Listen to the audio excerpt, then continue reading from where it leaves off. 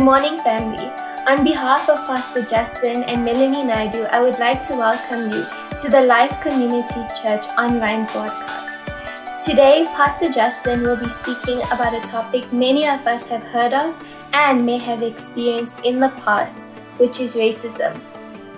In a short while, we will begin praise and worship, but for now, please enjoy the Bible adventure.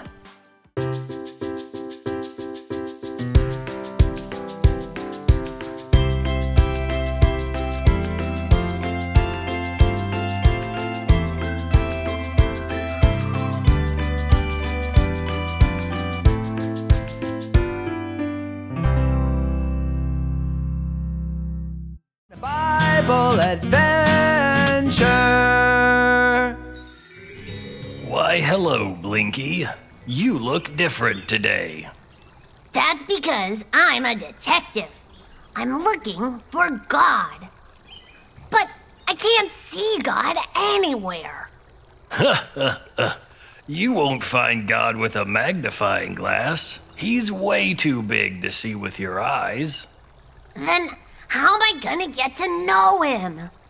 One way is to learn about Him by reading your Bible every day. Oh, yeah! Let me try. Aw, Mr. Stone. I can't read yet. You can ask a grown up or an older kid to read it to you. I'll read the Bible to you anytime, Blinky. Gee, thanks, Mr. Stone. Are there any other ways to get to know God? Why, yes, Blinky. You can spend time singing to God to show you love Him. Wow! I super duper love singing to God. So do I. But those aren't the only ways to get to know God. What? What else can I do? You can talk to God and listen to Him. I know about that. Friends. What's it called when you talk to God? Thank you, friends. It is called praying. Since praying to God helps me get to know Him, I'm gonna pray right now. Dear God, thanks for giving us special ways to get to know you. In Jesus' name, Amen. amen.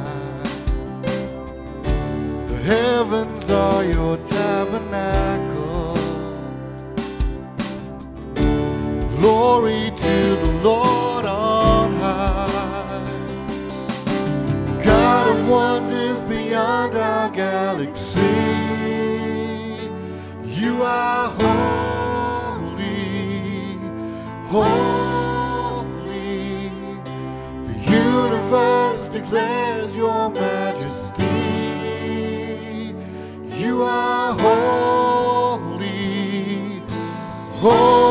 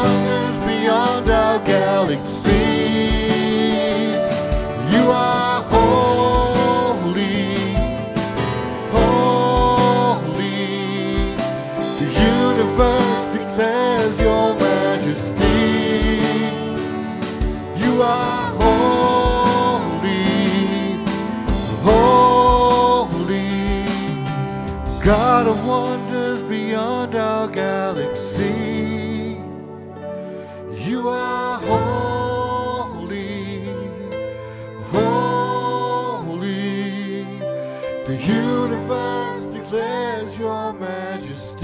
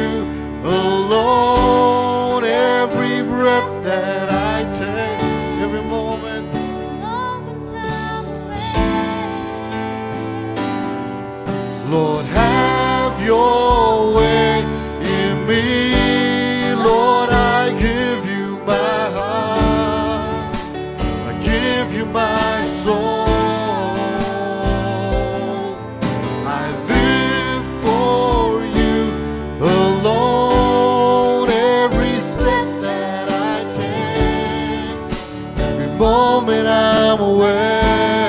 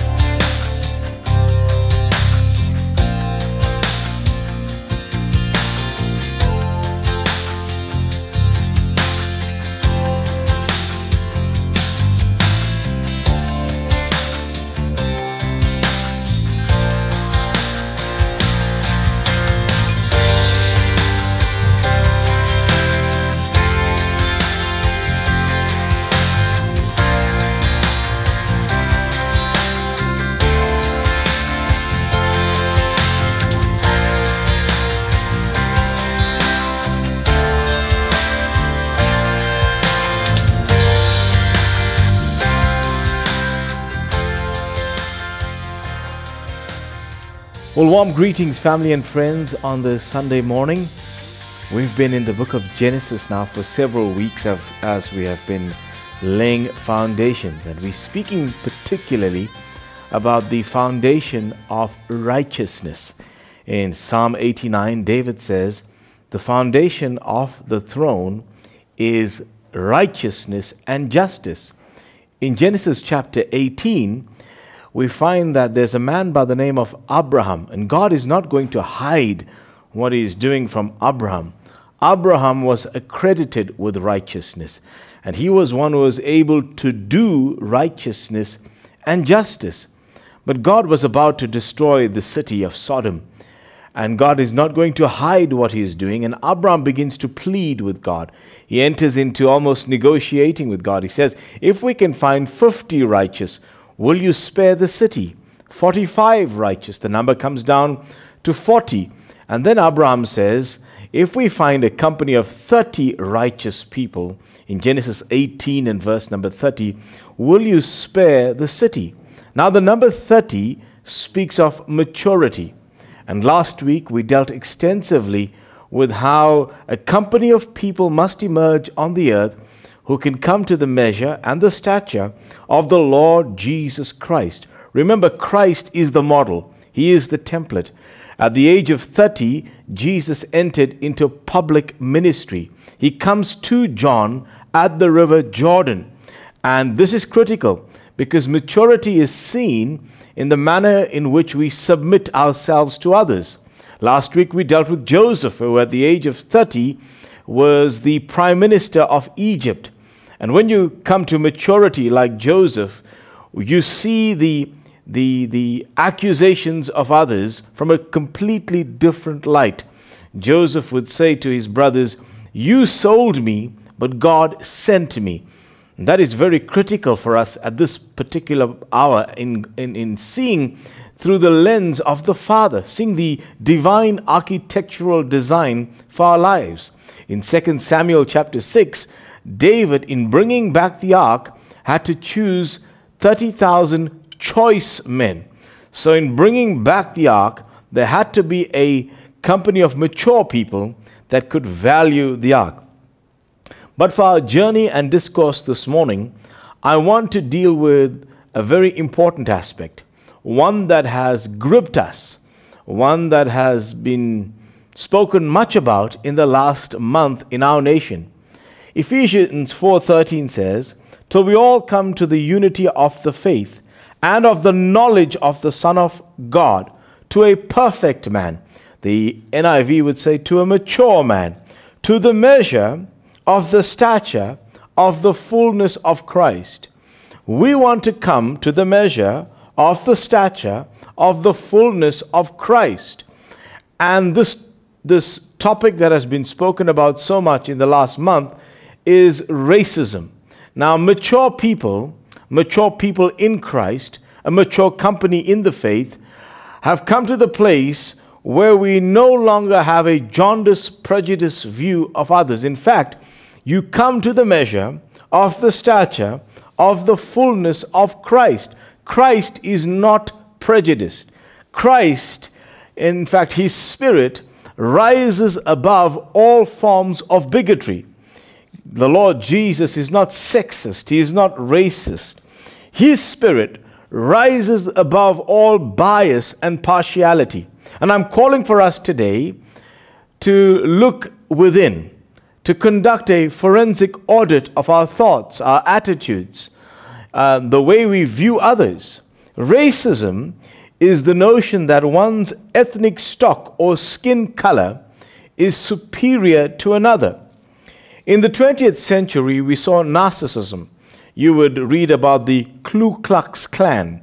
You would, in South Africa, have experienced apartheid up until 1994 all these belief systems spring from a haughty attitude of racial superiority.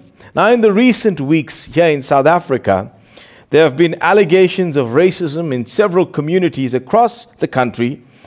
And unfortunately, racism does not begin or end with social or political groups.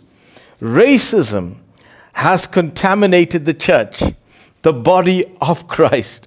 And there are many Christians, many believers who claim to be anointed, who claim to have much knowledge about the scriptures and about the kingdom of God. They can even quote the scriptures. Yet, we remain biased and opinionated when it comes to race. I know some of you might, might not take too kindly to some of the words that I have to begin to speak to you, but I have a word that I feel very strongly in my spirit needs to be spoken to not just to our local church, but to the entire body of Christ. And I'm sure the apostles in the faith will address some of these deep rooted problems. You see, people use racist terms, racist slurs. They crack jokes and speak ill against other race groups.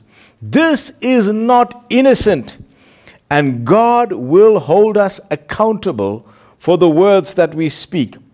Now, if we don't overcome racism in the church, we will never sit and never reign with the King of Kings in his throne because his throne is a throne of righteousness and justice. This is the foundation. Now, in Acts 17 and verse 20, the, uh, or 26, the Bible says, God has made one blood of all nations, one blood of all nations. Now, racism, racism is firstly hereditary. You see, when racism is passed from parent to child, it comes from one generation to the next. And this usually happens in the first five years of a child's life. The lie of racism is inherited.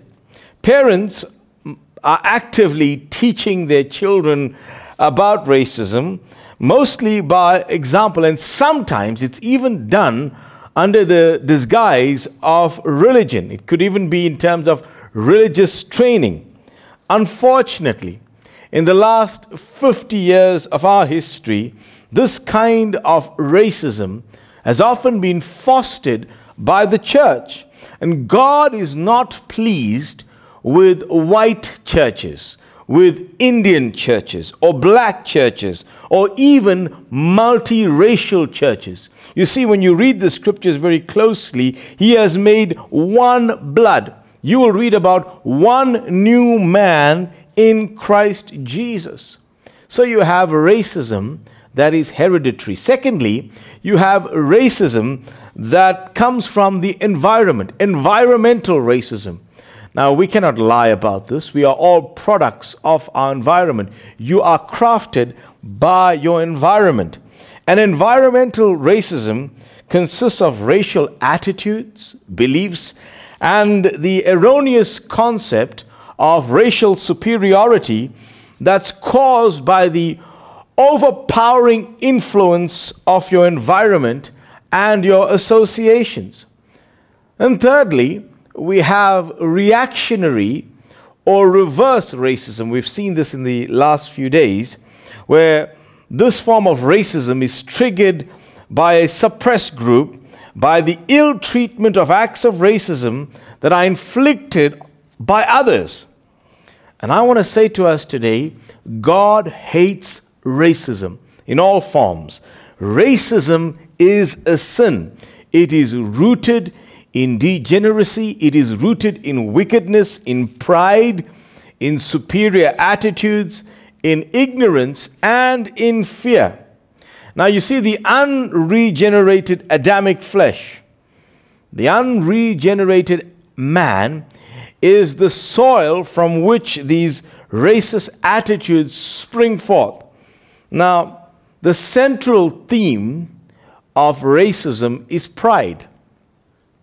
I know I might sound like I am a little poetic, but to help us remember, uh, I thought we'd put it in, in a few um, easy words. The first pride is the pride of place, the pride of place. And this is social status. This is being seen in a better social light, the pride of place. The second pride is the pride of face. This is physical attributes. Then there is the pride of grace where you have religious traditions, religious, you're proud of your network or denomination. Then there is the pride of race. This is based on skin color or ethnicity. You have to ask yourself why do people exaggerate their own importance? Well, people of all race groups will want to exaggerate their own importance to overshadow the value of others who are different.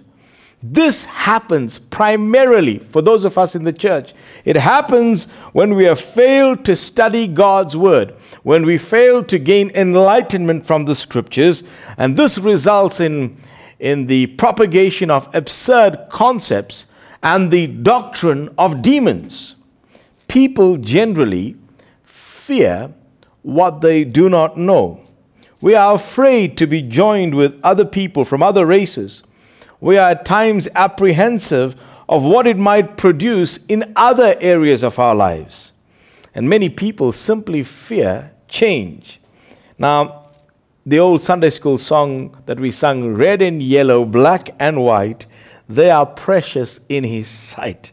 And Dr. Luke in Acts 17 is saying to us, God has made one blood of all nations. All nations uh, or the word nations is the word ethnos. Mm, God is saying to us, all ethnos, all nations came from one blood. Now, this is very interesting because all races then have one beginning. This means, very simply, friends, that the billions of people on the earth right now all have one source of blood. This is Adam and Eve. And the blood was preserved through Noah and his family, even through the flood. Yet, if we go back historically, very recently, uh, in the last um, 80 years, you could say, in World War II, did you know that a white soldier could not receive a blood transfusion from an Asian or a black soldier because of fear and ignorance? Now, medical science and, and many pathologists will tell you that apart from blood types, all blood is the same. It doesn't matter, friends, what color you are, what generation you were born in, what language you speak. We all came from one blood. Mankind has one Father who created us all in his image and in his likeness. So when you go to the book of Genesis, to the book of beginnings, Genesis 2 7, the Lord formed man of the dust of the ground. So he made man from dust. Now, when you look at dust, it you look at sand, it is made up of a variety of colors brown, black, dusky, red, or even sandy. So this Adam was probably reddish brown, as his name suggests. Now, for us who are living in this 21st century, we have to understand that our skin color, our, ethnicity, was a definite act of God, not some blind chance or mistake. You see, God chose the color that you are. It was not a mistake. He gave you the features. If you read Psalm 139, verse 14, it says, David writes, it says, I will praise thee, for I am fearfully and wonderfully made. Marvelous are your works. We, as the sons of God, are made in his image and likeness. And I want to say to us never allow someone's irrational, ignorant, racist remarks to make you feel inferior, insulted, or even ugly. You and I are beautiful in his sight. So the opinions and the words of others don't really matter. Now, when you come to maturity, and this is the righteous company that must emerge on the earth, and when the righteous company emerges on the earth that display maturity, then according to Genesis chapter 18, judgments are aborted upon cities and upon nations. But we have to start with the mind because racism is a stronghold that is set up in the mind. And there are mindsets of inferiority that are created by generations of discrimination.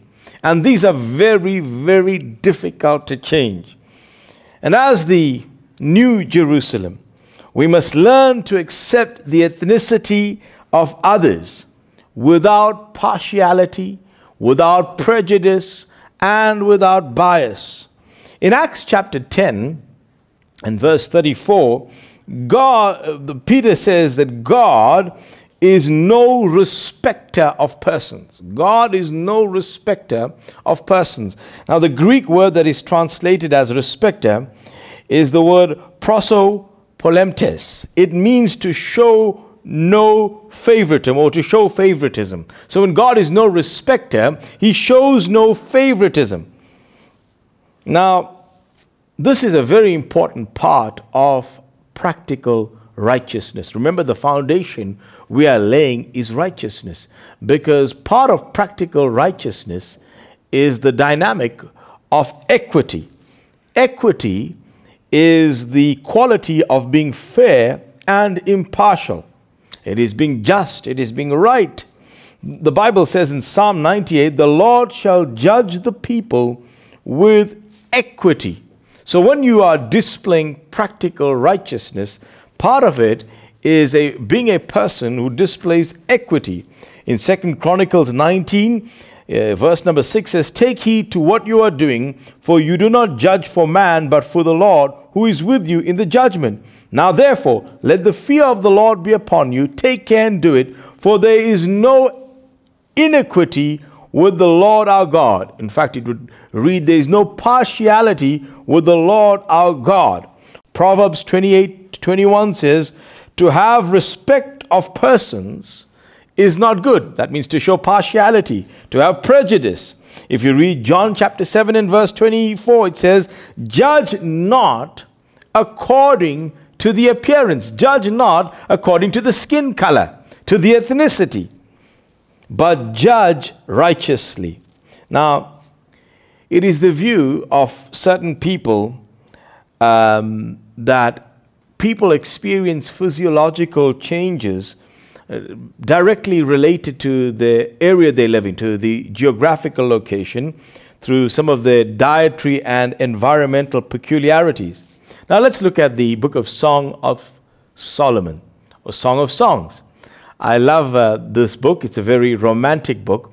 But the Shulamite, she says this she says to the daughters of Jerusalem, Dark am I, yet lovely, you daughters of Jerusalem. Verse 6, chapter 1, verse 6 Do not stare at me because I am dark, because I am darkened by the sun. You see, the true skin cannot be seen by the natural eye. I don't know how many of you have visited a dermatologist, but there are several layers, and I hope we can view it this morning. What we see is the covering that protects your true skin. The true skin has nerve endings and it has minute blood vessels that otherwise would be damaged by the sun. The true skin is basically the same in people everywhere. The outer layer, the outer layer that contains the pigment is the epidermis. It has five layers for the primary purpose of protection. Now, as its surface is being worn away, new cells are supplied. Now, although there is no pigment, the reproducing chemical in the true skin or the dermis is called melanin, which is stored in the epidermis. You will even see this in the hair. Melanin is released in the epidermis in amounts that are necessary to shield the skin from the sun. This then produces a richer color to the skin so that the ultraviolet rays cannot penetrate. Basically, what I'm saying is the body tans itself. Color is not race. Color has nothing to do with the image of God. Now, many historians uh, that wrote many wonderful books, including Josephus, will tell us that the Garden of Eden was actually located within Africa. Josephus supported the view that the Gihon River in the garden was connected to the Nile River. Others have the view that Ethiopia, which means black, was part of the garden. And these scholars are of the opinion that Noah and his wife had to have been a person of color to beget or to produce children of color. Now, I'm looking through the scriptures and I want us to see this very clearly. Moses was raised by Pharaoh's daughter, who was a black princess. When Moses would go into the wilderness for 40 years, Jethro, a priest of Midian, who imparted such great wisdom to Moses, was a dark skinned man. This is just in, in the Pentateuch, in the, in the first five books of the Bible. Hagar, who was given to Abraham by Sarah to produce a son, was an Egyptian woman. As you look further through the scriptures, you would find that Solomon encountered the Queen of Sheba. The Queen of Sheba was an African woman. In fact, she was a prominent international trader who would deal with gold and other commodities. Even the, the man who penned uh, the, the, the book of Zephaniah, the prophet who some would call a minor prophet, Zephaniah was said to be a, a man of color. He was the son of Cushi. Cushi means black. Abraham had a dark skinned wife named Keturah. I think we must read the scriptures very carefully. There are many things, friends, that need to be looked at through the lens of God's word. Doctrine determines our practice. And there must be an unlearning, a deconstructing, a repenting, a pulverizing, a breaking down of racist attitudes and approaches. When you look at Isaiah chapter 1 and verse 18, the prophet writes and says, Though your sins be as scarlet, they shall be as white as snow. Though they be red as crimson, they shall be as wool. Look at this verse very carefully. Your sin is as scarlet, though they be red like crimson. What is Isaiah saying to us? God does not see skin, God sees sin. He sees the color of sin. Throughout the Bible, friends, throughout the Bible, dark skinned people have been used by God to be a blessing. Even in the New Testament, Simon of Cyrene, who helped the Lord Jesus to carry the cross when his physical body grew weak, was an Ethiopian man. In the book of Acts, in Acts chapter 8, God had interrupted the citywide revival that was conducted by evangelist Philip. And this took place, this interruption took place so that one black man could be ministered to. This was the Ethiopian eunuch. And this man, the Ethiopian eunuch, was the treasurer, uh, and he was the secretary of the treasury. And he later, the Ethiopian eunuch, later on, would share the gospel of Christ with the queen called Candace. My beloved friends, God has been using people of color, men and women, to share His word. Throughout the scriptures, God showed no partiality. God was not prejudiced or biased. In the new in the in the last hundred years of church history, people like Charles Mason and William Seymour were used in the Azusa Street revival to birth the Pentecostal movement. William Seymour would start the Azusa Street Church. It was called the Apostolic Faith Mission, the AFM. Then from there, the uh, Assemblies of God was birthed. The Church of God, the full gospel Church of God, was birthed through these men, Charles Mason and William Seymour, who were black American men. Frederick Price, recently, Creflo Dollar, T.D. Jakes, mm, the late Myles Munroe, Bishop Eddie Long, Tudor Bismarck are all African men, men of color. What is God showing us? In recent years, even South Africa, we have seen great apostles arise out of our communities, men of God who have been able to impact and influence the globe God is showing us that He is no respecter of persons. What needs to happen in the body of Christ is that we need to come to a mature man. This 30 company must arise to the measure of the stature of the fullness of Christ, and Christ is not prejudiced. Race hierarchies must fall in the house of God. And we applaud politicians and community activists for playing their role in trying to deconstruct racist attitudes and approaches. But it is my conviction that judgment must begin in the house of God. It must start with the sons of God. And if we say in our country more than 70% of our country are Christians, those who bear the name of Christ, then we have to see a change in the house of God. We must come up higher because His ways are higher, His thoughts are higher. God is not looking for a multiracial church, God is looking for a church that lives and, and moves in oneness. Hear, O Israel, the Lord our God is one. It's not just united because we can gather to be politically correct on a Sunday morning and say we have people of different ethnicities coming together, but we leave divided. God is looking for us to come back to the principle of oneness. We must abolish these racist attitudes, these policies and practices that is in the church of Jesus Christ. This enemy this awful foe called racism was birthed and raised to maturity in the house of God. And today, this evil still lurks amongst us. And I might add, it is even in us. Racism must be exposed and it must be subdued and brought under the subjection of Christ and His church. Now, it's not something new, friends. Racism is not something new. When we look into the Word of God, we find several situations where the hearts of people were exposed. The Old Testament in Numbers chapter 12, and I'm going to read it this morning. Numbers chapter 12, follow with me this, this very interesting narrative.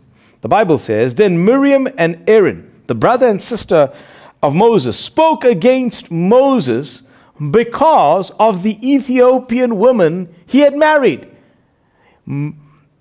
Aaron was the high priest. He was anointed with several measures of the anointing. The Bible says, For Moses had married a black woman. So they said, Has the Lord indeed spoken only through Moses? Has he not spoken through us also? And the Lord heard it. Now the man Moses was very humble, more than all the men who were on the face of the earth. Suddenly, watch God's response to racist attitudes and practices. Suddenly the Lord said to Moses, Aaron, and Miriam, Come out, you three, to the tabernacle of meeting. So the three came out. Then the Lord came down in the pillar of cloud and stood in the door of the tabernacle and called out Aaron and Miriam. And this is what needs to happen today. We need to call out those who have racist attitudes and approaches. And they both went forward. Then God said, Hear now my words. If there is a prophet among you, I, the Lord, make myself known to him in a vision. I speak to him in a dream. Not so with my servant Moses. He is faithful in all my house. I speak to him face to face, even plainly, not in dark sayings. And he sees, he sees the form of the Lord.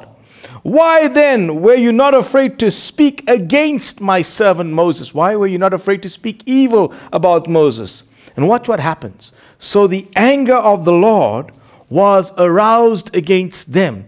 The anger of the Lord was aroused against what they had done, in that they had they had viewed this marriage between Moses and the Ethiopian woman as something that was evil, and God departed.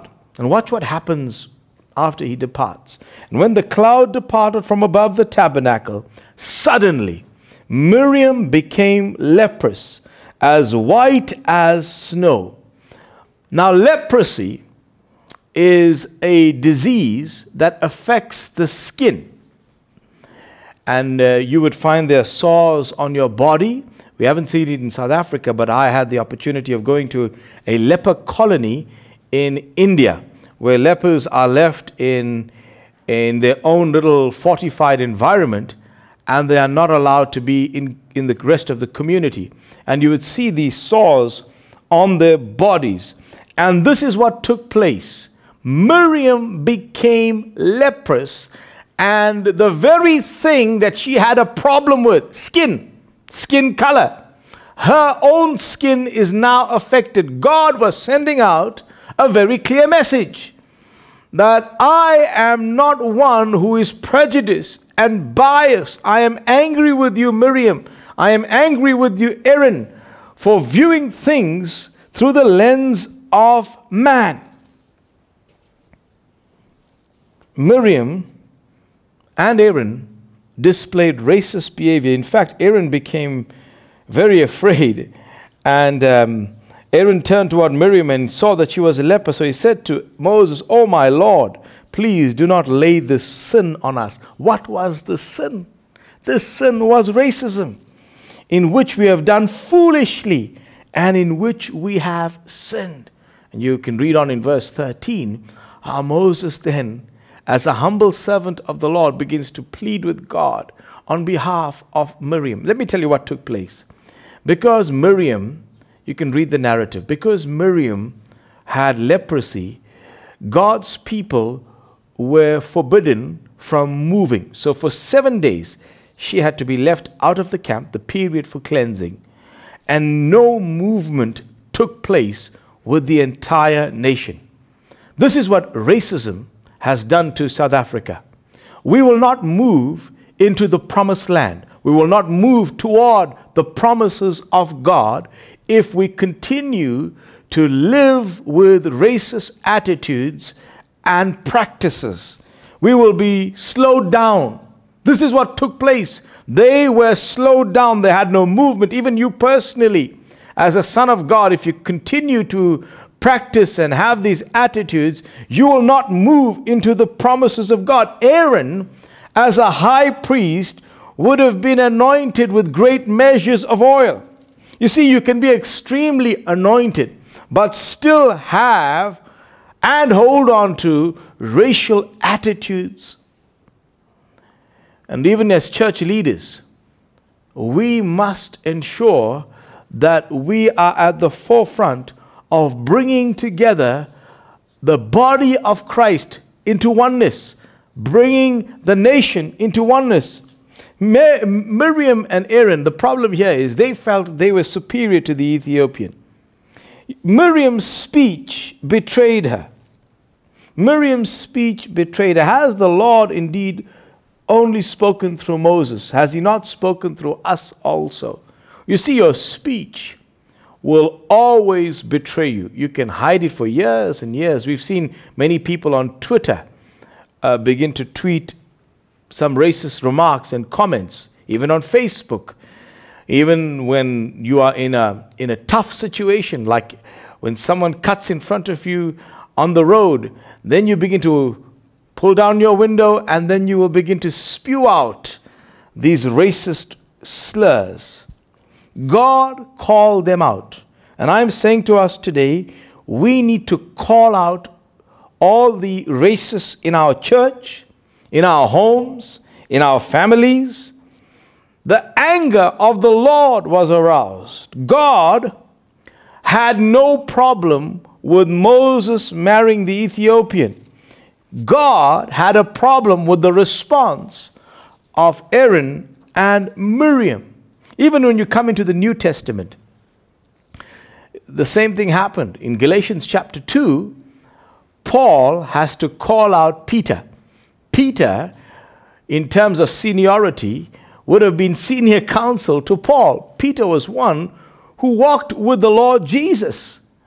And sometimes in certain seasons of our lives, we can walk with the Lord. He would have seen the Lord Jesus sitting with the Samaritans. He would have seen him going to people of different ethnicities. Peter would have seen it. But in Galatians 2, when Peter came to Antioch, I had to oppose him face to face. This is what Paul is saying. For what he did was very wrong. When he first arrived, he ate with the Gentile believers who were not circumcised.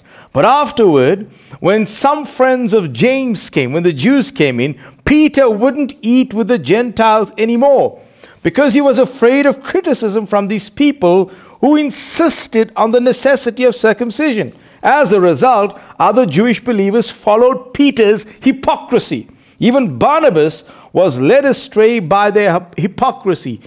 Paul was not afraid to call Peter out, to correct him to align him. And I say to us today that this has to begin in the house of God, where we are able to call people out, rebuke them in the spirit of love, speak the truth in love, because we don't want to have the brakes pulled on the momentum we have gained in the last 30 years as the church.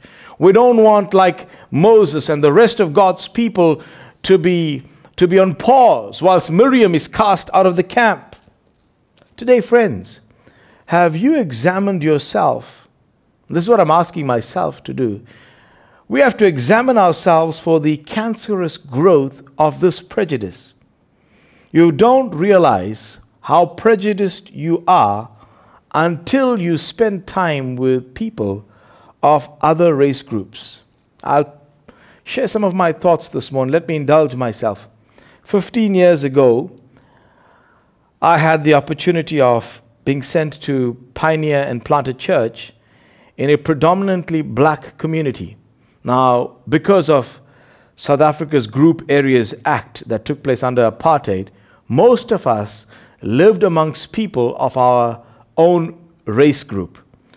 So, growing up, I had very little to no contact with people from the black community or people even from the white community.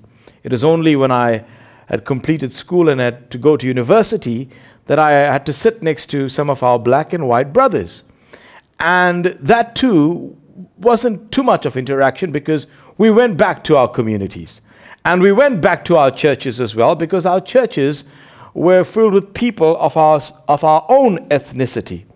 But when I would when I had the opportunity to go into this community and work with people from another ethnicity, another race group, the Lord had to break me because I had been filled with so much of prejudices. There were lies. The, the environment that we grew up in crafted us, crafted our thinking, crafted our mindsets. You see, racist attitudes very seldom come out as long as you stay and live with people of your own kind. And God had to break me. So I would, in pioneering the church, we had to do door to door evangelism and go and sit with families, break bread with them in their homes. And these were very simple people. Some of them were very poor people. I had to at times learn the language, begin to speak to them, and share the gospel with them. And then they would invite us as we began to grow and, and come together. We began to be a part of the same family, the same household. And we would eat together, share a meal, eat off the same table. And the love of Christ was imparted so richly. And you would see some of the pictures. Some of these children became our children, stayed with us, lived with us in our own home. We paid for their school fees. Today, one of them being a, a young lady by the name of Londi Magwaza, a highly qualified young lady who is now working in the United States of America. You see, racial prejudice, racial prejudices quickly surface when you get into close quarters with people of other race groups. So today, how do we deal with this great sin? That's what I want to call it. This great sin or prejudice of racism.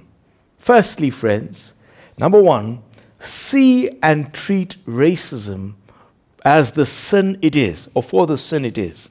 In Acts 10 and verse 34, Peter began to speak, and he says, I now realize how true it is that God does not show favoritism.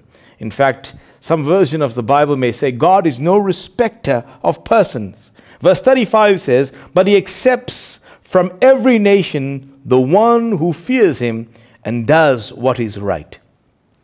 Secondly, and very key to us, very critical for us, repent and renounce all racist attitudes and practices so we can help free others.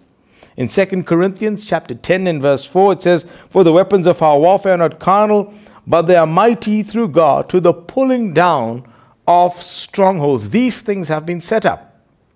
During apartheid, there were separate uh, restrooms set up for people of different ethnicities. In certain homes and cultures, there were different sets of cutlery and crockery used for people of different ethnicities. These things have become practices that are hereditary, that are passed down to our children. So you've got to cast down imaginations. This is what Paul is saying. And every high thing that exalts itself against the knowledge of God, and bring into captivity every thought to the obedience of Christ. Thirdly, see people as God sees them and refuse to know any man after the flesh. 2 Corinthians 5 says, Therefore, from now on, we regard no one according to the flesh, according to their skin color or their ethnicity. If you are an employer, I want to speak to you today, and this is very prophetic to us because in times past, people were remunerated based on the color of their skin. Employers should treat people with fairness and equity. This is a dimension of righteousness based on their competency and not their skin color. The Bible says the laborer is worthy of his wages. And I think this is very key for us if we want to uh, build in South Africa. Fifthly, we must fellowship with sons of God from different communities and different race groups. This will mean becoming uncomfortable. For us in our household, I'm going to ensure that we go into, into other neighborhoods, we go into other communities. Number six, support, contribute, and be a part of seminars and symposiums on racism. I want to encourage that we have dialogues with our children around the table on these topics.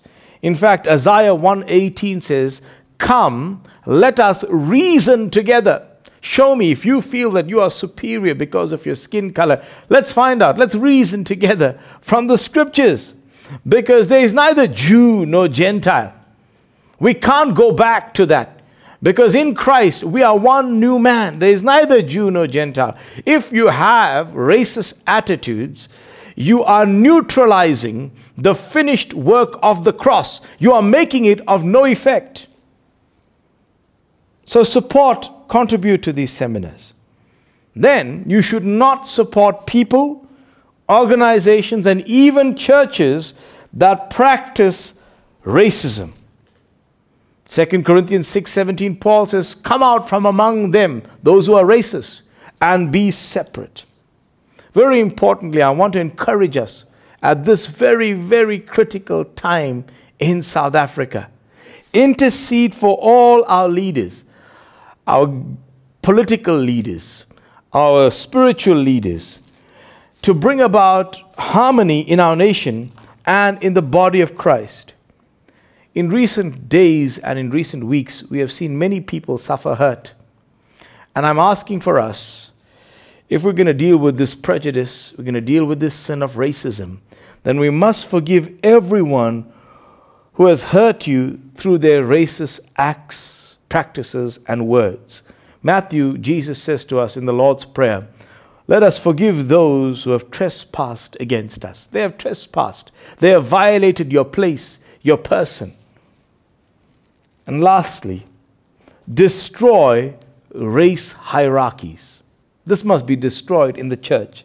Submit to the leadership that God has placed over you. We are partakers of grace, not race.